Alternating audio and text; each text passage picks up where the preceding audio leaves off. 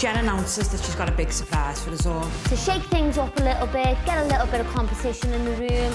And it's new mums and new kids. Now, How many more do you want to bring in? Our kids don't even get enough attention. The theme. I want to add a new dimension to the routines. someone doesn't do it, they're out next week. Don't miss the next brand new episode next Monday at 9. And if you've missed any, catch up now on demand. Dance Mums with Jennifer Ellison, exclusive to Lifetime.